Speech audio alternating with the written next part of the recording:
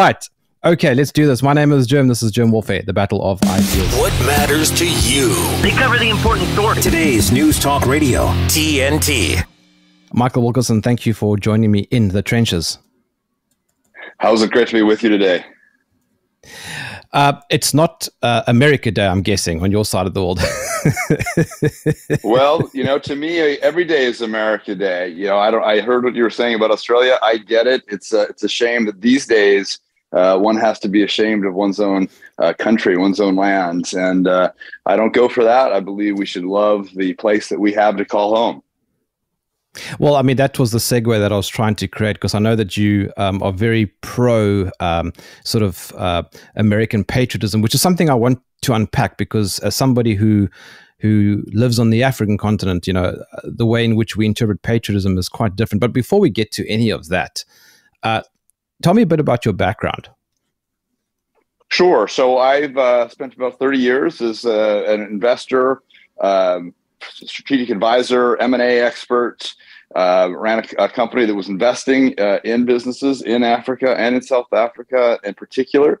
Um, I've had a number of years of experience as a public company CEO um, and most recently as an author of two books, one called Stormwall Observations on America in Peril, and most recently a book called Why America Matters The Case for a New Exceptionalism, which just came out uh, a couple months ago, and uh, very, uh, very excited to talk about it. Mm.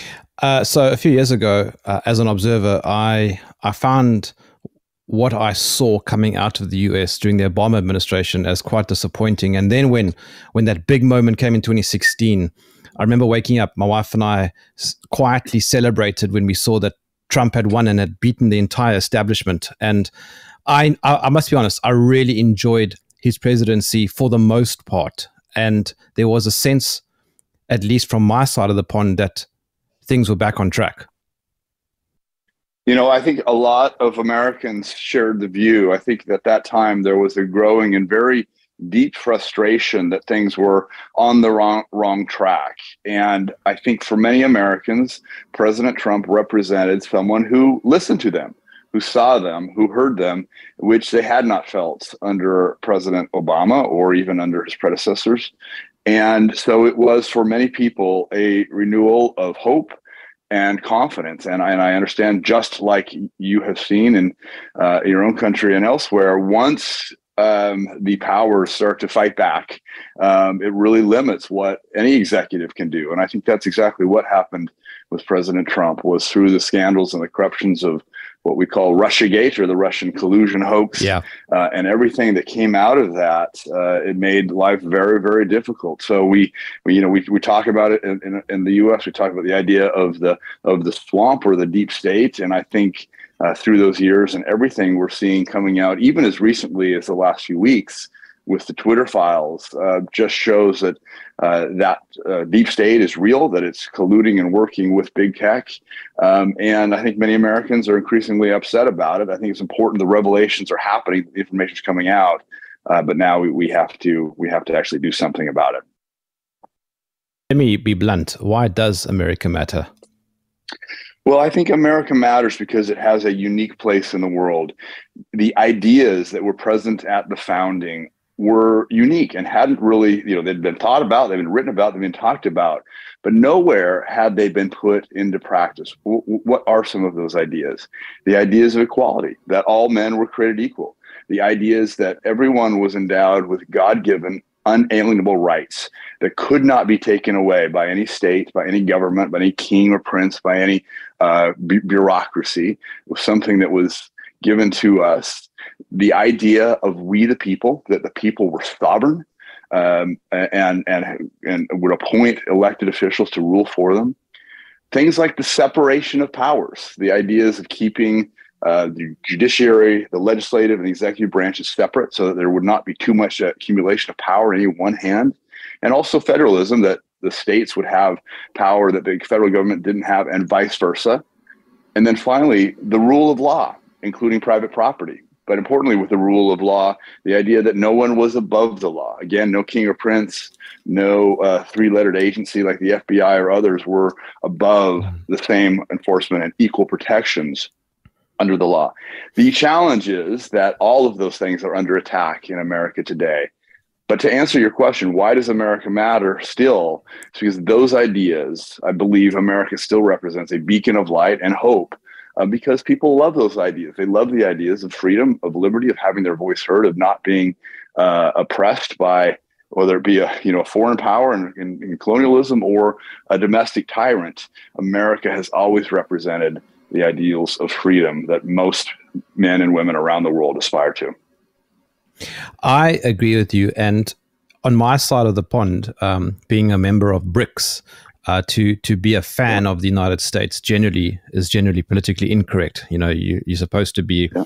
uh, opposed to to the United States. And the truth of the matter is, no matter what anybody says, America to still to this day is probably the greatest country on earth. You can pretty much do whatever you want. I don't know of too many countries in which you are allowed to dress up in a white outfit with a pointy with a pointy top, you know, and, and look out through little holes in the, in the cylindrical sort of triangular shaped hood that you have on your head, you know, and and and and have that type of what would you call it cult, which is what you know the KKK is. I don't know of that many countries that allow that. You certainly can't do that here. Well, so and we didn't. You know, it's not freedom. really allowed here either. Let, yeah, let me tell you the history of the KKK was mm. it was the militarized arm of the Democratic Party after the Civil War. So when the South mm. gave up formal fighting, the Democratic Party was reconstituted. The KKK became, as I said, their sort of armed militarized group to go around terrorizing people. Um, and in fact, the reason why the Justice Department was first formed in 1870 under President Grant was to go after the KKK, and they did, and they pursued them. And of course, it sort of still lives on in history, and people still sort of of secretly and clandestinely agree agree with its values. But uh, it really came out of that political dislocation and people who were unwilling to let go of the idea that um, that all men were created equal and wanted to hold on to the legacy of slavery in the South. Yeah, I was going to say that. Um, uh, I, I, was going to say that I agree with you that America does matter. Where I become critical is, of course, the U.S. government and the deep state, and I think everybody will agree with that. Um, but how does one even begin to separate those two? Yeah. So one of the things I talk about in the book Why America Matters, which are available online or at whyamericamatters.com, you know, I talk about a couple of big crises in facing our nation. One is just the is the crisis of circumstances that all nations around the world are seeing today, whether it was with pandemic and lockdown response, um, sort of the the uh, well war in Europe now, uh, all these things that are going on. But two important ones that I talk about that's relevant to answer your question. One is I talk about the crisis of identity. We are at a mm-hmm. place mm-hmm. in, in, in the United States where Americans do not any longer have a great sense of who they are. They've lost their identity, lost the, the, the very idea of why does it matter? Why do the ideals of America matter? Is democracy important or not? Is capitalism free markets? Does it matter? And especially as you go younger and younger in age cohort, there's a lot of confusion out there. The other, I called it the crisis of institutions, which is the point that you're hitting on, which is that today, our federal government institutions, the three lettered agencies, as we call them, are failing us. They are failing us both mm. through ineptitude, incompetence, but also a deep corruption. And I think that that has to be hit head on. You know, we've entered this age of the surveillance state, uh, which you know once the technology is out there, you can't go back from it. But there can be constraints on power. And so, one of the things that I do find encouraging, and I mentioned the Twitter files earlier, but the first step in this process is transparency, is uh, mm-hmm. revealing what's going on. More and more Americans are becoming aware. People who were skeptical and thought that these were just crazy conspiracy theories now realize no, no, these are real encroachments by the government against the people. And the mm-hmm. next step is accountability. And I think we are entering an era where we're going to see some real accountability through uh, congressional hearings and committees. This has happened before in the 1970s. There was something called the Church Committee, Senate Committee, uh, that looked mm. into a lot of the abuses that have been going on by the CIA around the world, the FBI domestically, in targeting people like Martin Luther King Jr., et cetera. And so this is not unprecedented. We've been here before, unfortunately, for not the best reasons. My point is, is that it isn't a one-way street. We can uh, undo some of the damage that's been done. Well, I mean, I really hope that is the case uh, because, I mean, for example, here in South Africa, as you know, you probably know, we've got our own our own history of serious amounts of conflict yeah. between the people and the state. So I completely understand what you're saying. But I think what is interesting to me is how this gets played out, how you how you force this accountability that you are speaking about. And I think it has to be through the democratic process. It has to be through uh, enough Americans becoming concerned, appointing new congressional leaders. Uh, it's happening, but slowly. So there's been a, a, shift in the majority leadership of the House of Representatives, the lower chamber here uh, in the U.S., and that is enough to at least get the, the the process started.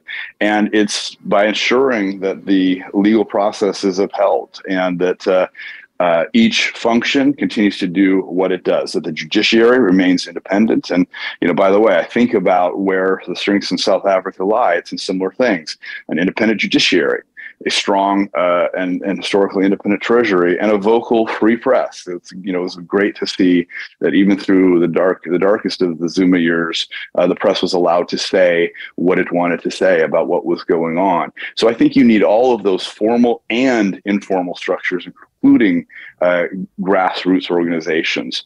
Let me give you an example here again from, from the United States. There have been a lot of people, a lot of parents concerned about uh, indoctrination of their children in public schools and teaching of a lot of confusing ideas that science doesn't matter, that biology isn't real, that you can be whatever gender you want. And parents have started to push, you know, parents have started to push back on that. And they were told, no, no, you parents stay away, and they were actually intimidated by the Department of Justice to say, oh, you know, this is this is domestic violence, for you to stand up and resist. And the parents would not back down. And what happened? Well, they actually overturned the board of supervisors of the school, and in the state, in the state of Virginia, they overturned the governor and put in somebody who was advocating on a platform of parental rights. Why do I tell that story? I just make the point to say, yes, you need it in the national elections. Yes, you need the formal processes, mm-hmm. but you also need the formal of of the media of work that uh, people like you and others are doing and citizens taking a small role whatever it is they can do in any walk of life that they can uh, and when you add up millions and millions of actors it begins to make a difference. But michael let's be honest you're not a biologist. How can you know what a woman is? Well you've got me there uh, jeremy. I, excuse me you got me there. I don't i don't know.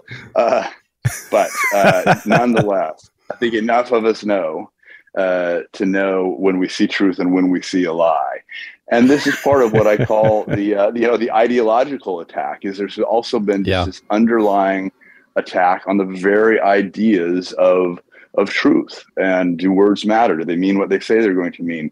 You know, all of this is um, intended to confuse. It's intended to render people sort of confused and helpless as to what is true, what is not true. So it's actually a much broader attack than just the question of uh, whether a woman is a woman, which of course is so fundamental. It's amazing that we're even having to talk about this issue. Yeah, well, exactly. Listen, Michael, I quickly have to do an ad break. I'll be back with you now. Super.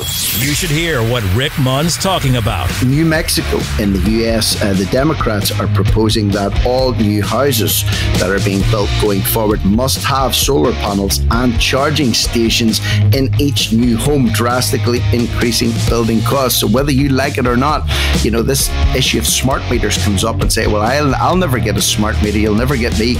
But maybe the house that you're buying has one pre-installed, or the landlord that you're renting of has one installed. In which case you can't really do anything about it.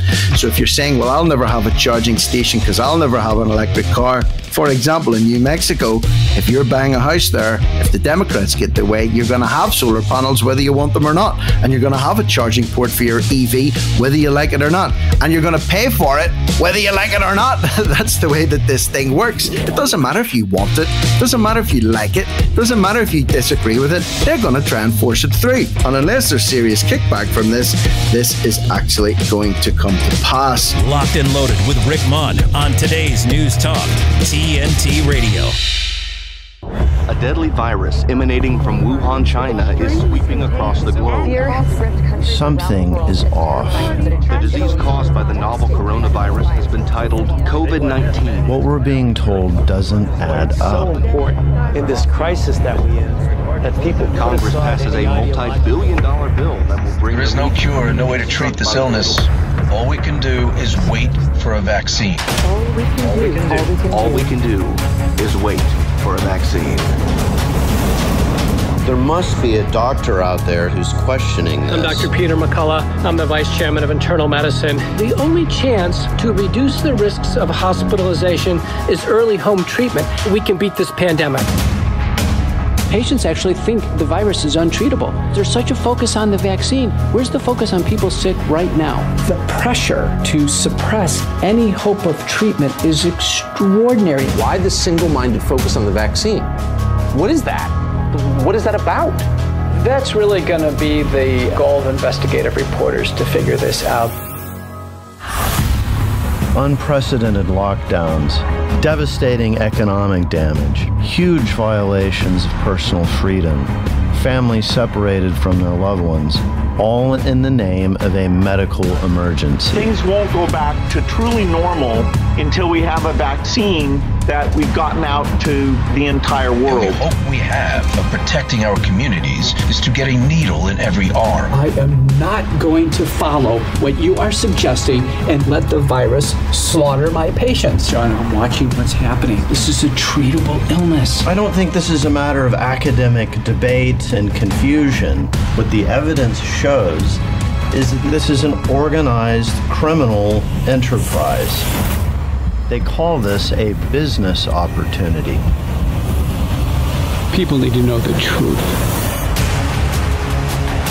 We are witnessing the greatest organized crime in history to the tune of trillions of dollars. The biopharmaceutical complex is using censorship, propaganda, and manipulation to keep people living in fear but what we need now is courage. The courage to face COVID 19. Available at couragetofacecovid.com. The Net Zero Con in action. Ursula von der Leyen used a private jet to travel just 31 miles, yet the EU approves France's ban on select short haul domestic flights. There is no climate emergency. On air 24 7. This is today's News Talk Radio, TNT. Michael, uh, would you say that Americans are are still sovereign today? Well, I think it's it's being challenged, isn't it? It's being attacked. Um, I, I, think that we are in a conflict, and that is exactly the issue that we're facing right now. We've entered a, a phase, and I talked about describing this crisis of institutions. One element of this is that parts of the executive branch, parts of government, meaning the, the agencies, the surveillance agencies, the law enforcement agencies, and others have started to take excessive powers. You know, we saw this. I was just listening over the break on some of the the uh, the announcements and adverts around uh, COVID nineteen uh, lockdown responses, other things. I think it's true in America, and it's true around the world that governments used that opportunity to acquire additional power, and we saw a lot of violations of uh, legal rights, personal liberties uh, in this country. And so, I think you're hitting on a really important point, which is it is not clear, and we are in a in a fight for it to ensure that this remains a, a nation of the people, by the people, and for the people. Well, let me let me personalize it. Uh, would you classify yourself as sovereign? Well, I, I believe I'm a citizen of a free country. I believe that I have the right to express my views.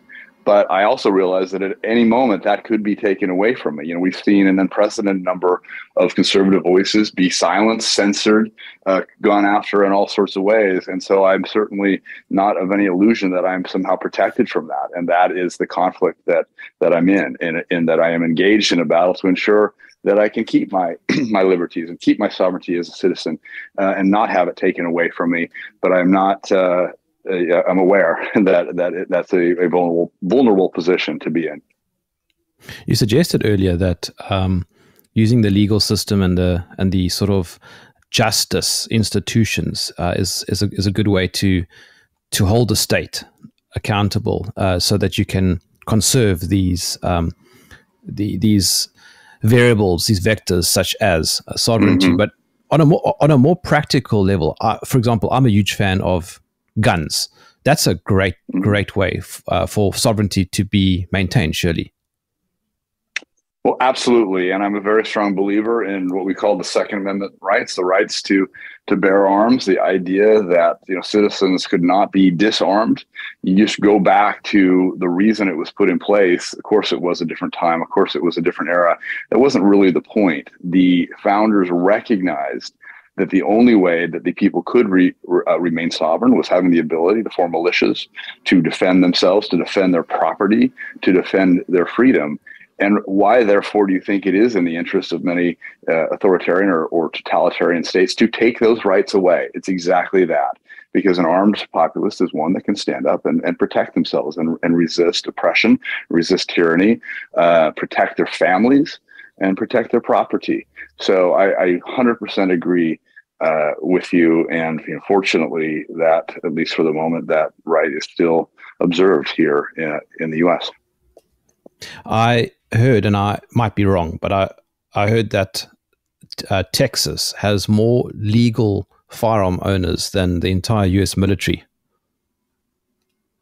Yeah, I don't know about that, but I know that uh, Texas uh, loves Texans love their freedoms and they love their guns and uh, and they love to, to to hunt and do all sorts of things that I know many South Africans share uh, the same kind of views. Yes. So, uh, so, uh, but it's but it is quite possible. It is quite possible. Basically, what I'm saying is nobody's going to oppress Texas.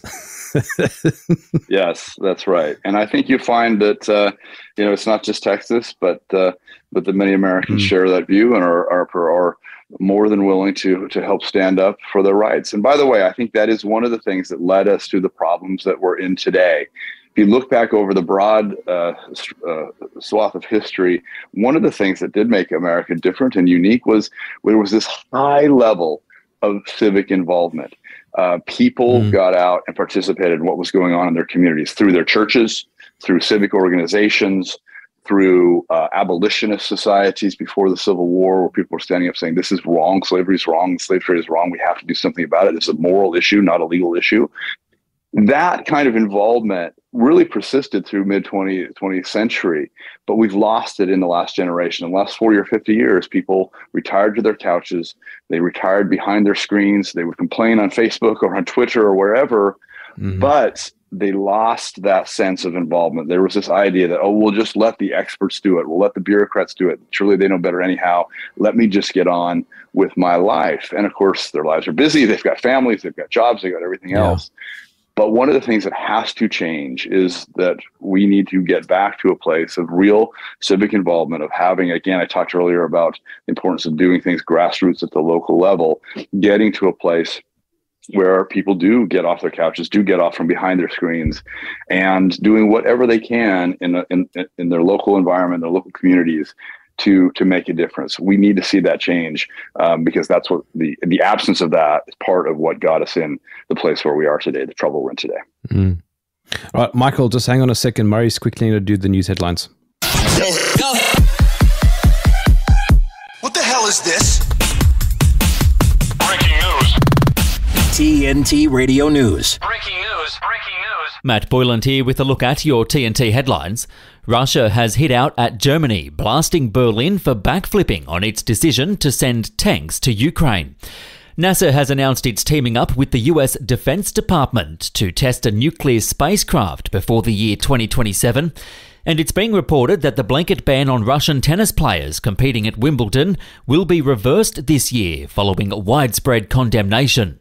We're the pinup boys and poster girls for free speech. We just don't look as impressive as Vladimir Putin shirtless on a horse. Yeah. 24 7, 365. We never stop sifting fact from fiction, misinformation from the truth, from government overreach to the latest on mandates, big tech censorship to propaganda gone mad. Listen to TNT Radio and get the news and views direct from our expert presenters and commentators anywhere you go.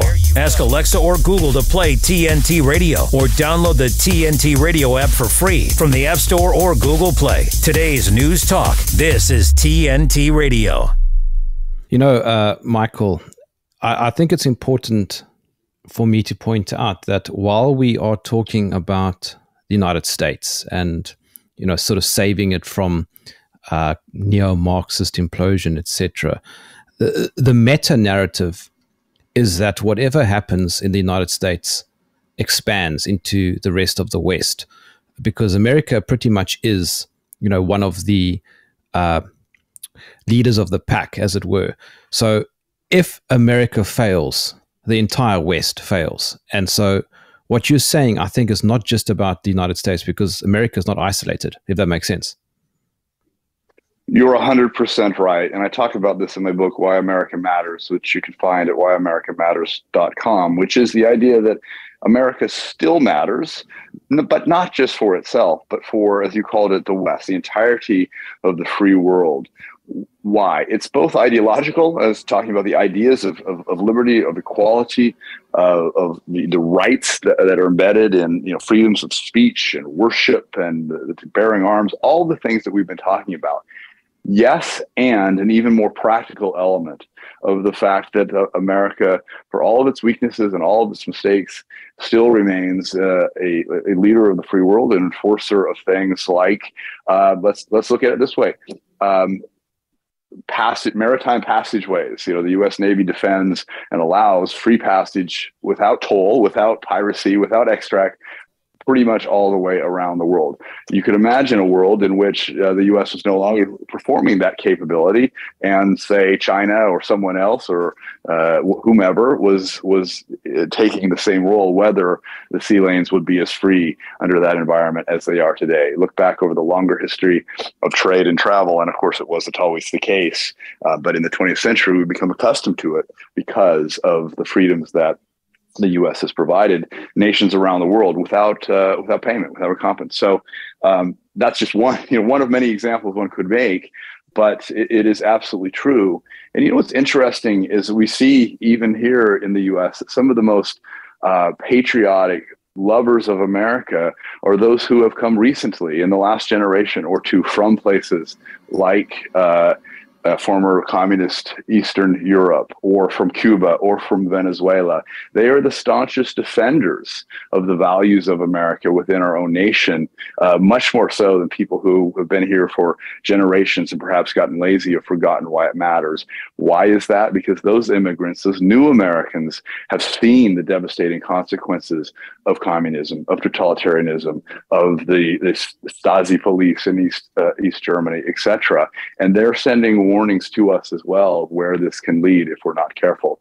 I really appreciate your point, though, because I think it matters not just for Americans, it matters for anyone who cares about freedom and liberty around the world. Yeah, I mean, it's a lot bigger than a butterfly effect. You know, what, what if, yes. if the United States coughs, if the United States coughs, the rest, the rest of the world gets a sickness. Right. That's right. That's right. Let me ask you another question. You mentioned China. Is the Chinese Communist Party a hurdle? Well, I would say that uh, the CCP, the Chinese Communist Party, is much more than a hurdle. I mean, they are arguably the primary uh, adversary and obstacle to the ideas of the U.S. and to the ideas of the West generally um, you know, for a for many many years, we saw no harm in what China was doing. We didn't understand what they were really after, and you started the show by talking about uh, President Trump, and I think history will show one of the most important things that President Trump did was to pull the smiley face facade off of the relationship with China to reveal it for what it really was, which was all of the espionage that was going on, all the theft of intellectual property all of the spying that was going on in our corporations and in our state and local governments, things that we're still working through today. And it was around the same time that CCP party chair and and and, and head of, and chair of the country uh, Xi Jinping uh, revealed in a, in a, speech to the party what the ultimate objectives are, which is that you know, China very strongly, the leadership there believes that uh, China has a destiny to restore itself as a dominant force in the world. They themselves are see the, the uh, see America as the adversary, as what they have to overcome, both economically, i.e., to supplant uh, the the U.S. as the world's leading economic power, but more substantively that the ideals of America, these ideas of democracy, of freedom, are antithetical to the ideals of the Chinese Communist Party in control. And they have made it their purpose and intent to subvert and undermine uh, these ideals, and they're doing it in all sorts of ways through misinformation, through disinformation, through uh, active campaigns. And so, absolutely, more than just an obstacle, it is uh, it is the challenge of the 21st century for the United States and for the West. But do you think that it's going to evolve from a physical war to an information war uh, between uh, the US and China? It's absolutely in an informational war phase today. I mean, the information war has been going on for some time. Um, interestingly, there's a U.S. agency that keeps track of all of the cyber attacks that they get record of against any uh, corporation or government entity, and it's absolutely spiked uh, since right around the time of the pandemic. There's lots of indications that China is behind a significant portion of that. There is no doubt we are already in an information war phase, uh, what one author called war by other means, this idea of uh, propaganda, yes, information, cyber attacks, other things, uh, everything short of a kinetic war, everything short of a hot war, which I don't believe uh, is uh, in the near term. I think China realizes a couple of things. One, that that they are still relatively weak in terms of their own domestic economy. There is still significant social unrest and challenges in maintaining order and control internally for the Communist Party. And uh, equally importantly, is that the U.S. remains China's largest trading partner. And so I think they are going to continue to um, appear to be playing friendly but to be doing lots of things behind uh, behind the scenes as they build their strength, exerting more control in the South China Sea, for example, exerting more pressure on Taiwan, and um, continuing to work through a, through a process. But I think we're already in an informational war phase. What does it mean to be an American patriot? Well, it means to to love your country, to believe um, that uh, to stand up for the ideas and ideals are worth that the country is worth fighting for. We've we've been so confused and so misled in recent uh, decades, and I think you you know you mentioned it at the, the earlier part of the show that uh, it, somehow it's no longer a virtue to love your country, to feel a, a love and affection for the place that you have to call home. And so I think it means to stand for the values, to recognize also that um, the borders matter, that without borders, you have mm. no nation. And I think in America, the issue that we have is not so much with immigration. Immigration has a place when it's legal and done according to national interests and priorities. What is happening here is the same thing that's happened in Western Europe over the last decade or two, which is mass illegal immigration, where those who are coming are not uh, those that we would necessarily want to come, those who can contribute to society, to our economy, but uh, or otherwise, and those who have no interest in uh, becoming American. Well, what does that mean to become American or to become South African or to become whatever? You mm-hmm. have to integrate, meaning you have to be find a way to be gainfully employed and pay taxes and and give back to society. But you also need to assimilate. What does assimilation mean? It means that you adhere to the values of the country that the, that the country holds dear. You adhere to the language. Uh, you adhere to the ideals of the country. You you you understand and agree with um, you know, basic principles that make whatever country we're talking about special and unique. And unique. If you're unwilling to do either of those things, um, then that sort of mass uh, immigration actually becomes extremely divisive, divisive, and dilutive to the fabric of the nation. So patriotism is about loving your country, but also defending it, defending its values, defending its ideals. Mass immigration is a serious, serious problem. I mean, my wife and I were in Paris uh, just before this COVID nonsense, and I, I was a bit shocked. Uh, it it didn't look like the, the, the France that I was expecting. I mean, it was mm-hmm. it was completely, uh, let's, let's say, non-French. Um, it, I mean, uh, you you could have excused it for being the capital of Pakistan. Yeah. And one of the things that's happening, and this is why I say this is not just a, an American issue, you're seeing uh, countries across France, people, the citizens of those, excuse me, not just France, across Europe, begin to push back on this, realizing that things have gone too far. Um, look at the leading political parties across almost all of these nations now, and they are uh, populist and nationalist. Nationalist meaning they want greater restrictions on uh, on on immigration. They want it to be safe and legal and controlled to numbers that can be sustained.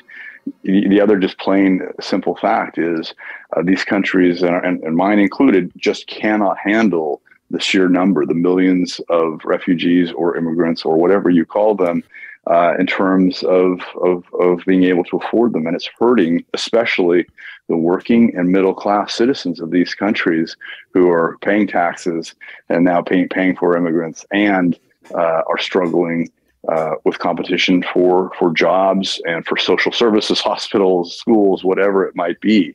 So I think um, it's the, the, the, West is waking up, Europe is waking up to the costs and consequences of this uh, this great uh, migratory wave that has gone on for the last decade or so. Douglas Murray wrote a great book called uh, "The Strange Death of Europe," and yes. if the United States if the United States is not careful, it'll be the strange death of America.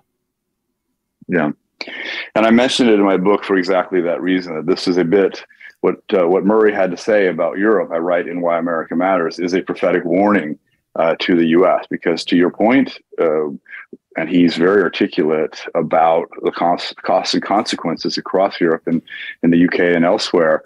And the same issues are happening now. Under our current uh, administration, under the Biden administration, we have seen an inestimable number, but it is close, it is millions and millions, if not tens of millions, of illegal immigrants pouring across the southern border of the United States. And it's overwhelming the border cities it's overwhelming cities around the country.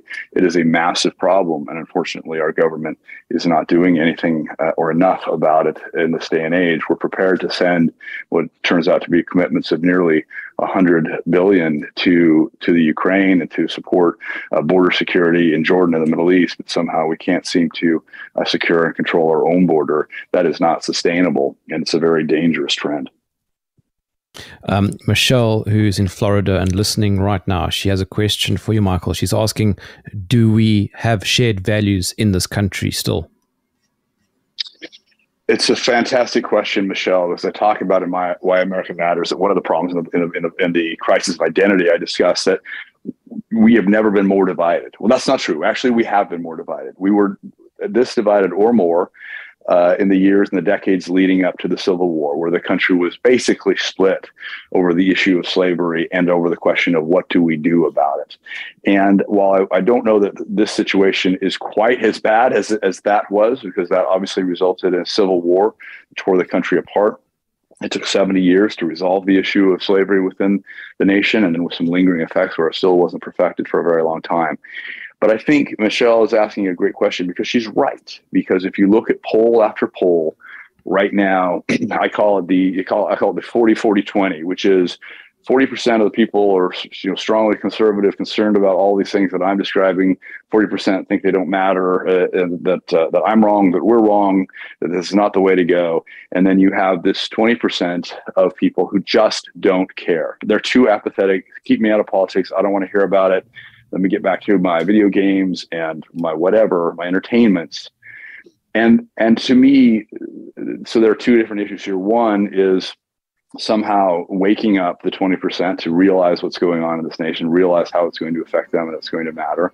And secondly, because I do believe that the radical left, the progressive extremes, uh, that that other that other side, that they're misinformed that they that they're being lied to. You know, one of the big revelations for me that led me on this path of writing was to realize how uh, how fake news was real and how big of an issue it was.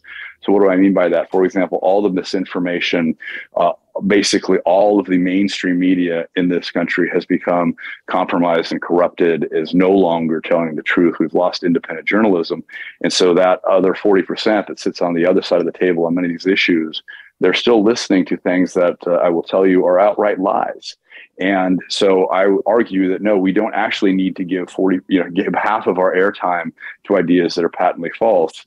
We need to be strongly convincing with the truth about what's going on. But uh, but it's actually a very important point because I don't know that that changes overnight. People are embedded in what they believe. Even if they're wrong, they don't want to know that they're wrong.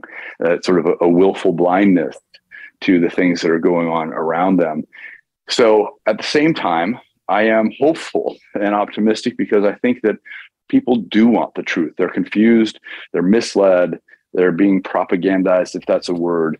And ultimately, though, most people like the truth. Most people want to know uh, what's really going on and care about the same ideas of equality, of freedom, etc. So I said it before, but I do think we're in a in a battle for the heart and soul of of this nation, as as many nations are around the world. All right, Michael, I'm quickly going to do my last ad break. I'll be back with you now. Give me a minute with TNT Radio's Steve Malzberg. I'm sure most, if not all of you, know the Aretha Franklin classic, A Natural Woman, released in 1968. Here she is singing it for President Obama and the First Lady at the Kennedy Center in 2015.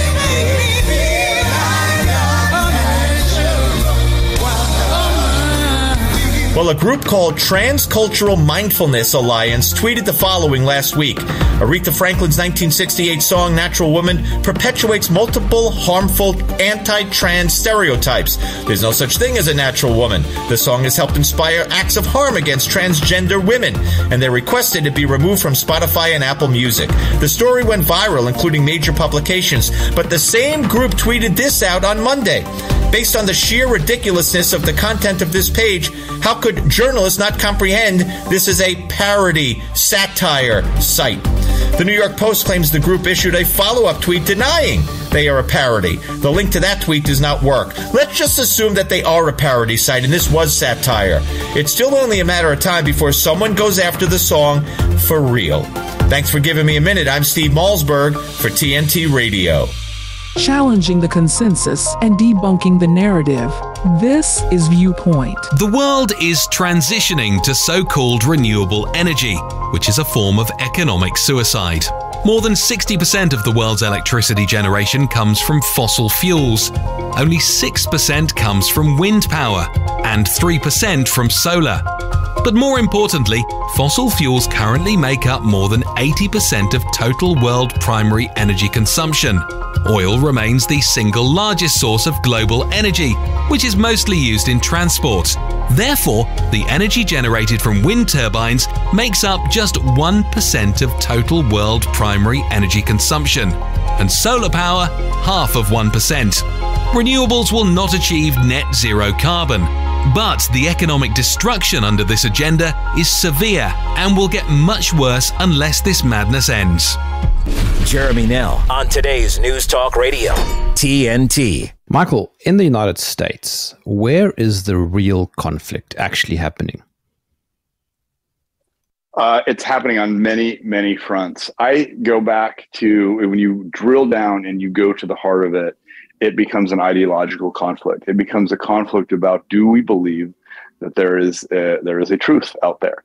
Uh, it's interesting to see that as political parties have splintered uh, in, in the US, or, or I shouldn't say splintered, polarized uh, between the, the left and the right, one of the key attributes is uh, the, the fundamental questions like is there a God? Is there a truth? Is there right and wrong? Is there an absolute moral? Is there an absolute morality that, that guides our decisions?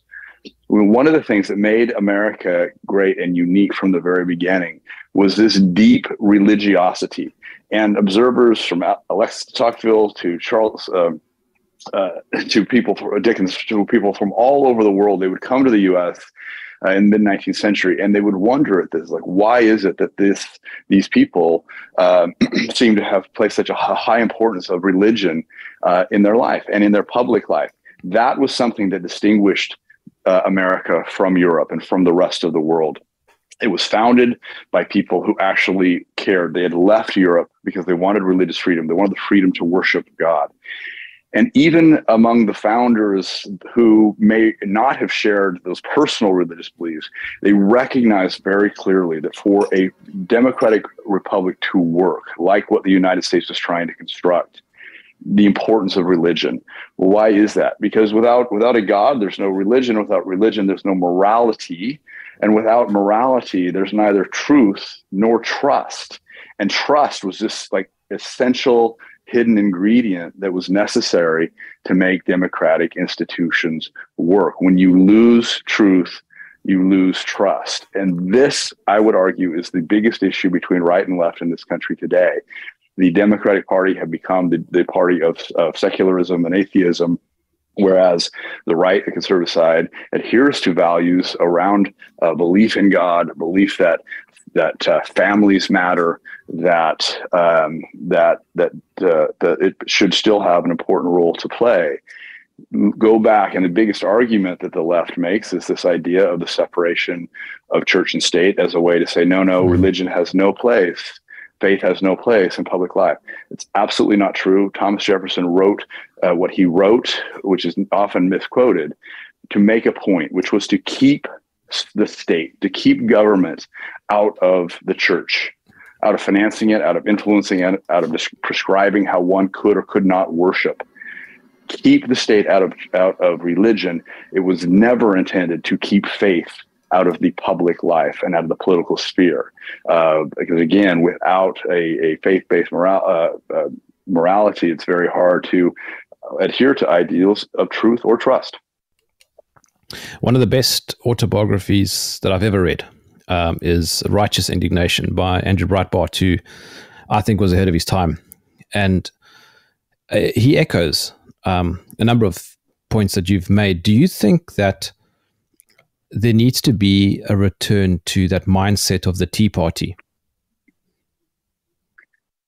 So it's a great question. It's it's a, it's a bit complicated. You know, I do argue in my book that on the one hand, we need to restore and resurrect some of these ideals and some of these values. On the other hand, I do call what my book "Why America Matters" the case for a new exceptionalism, because there's no doubt that in many ways the challenges that we face in this country and around the world in the 21st century are different than the ones that were faced in the 19th century or the 21st century.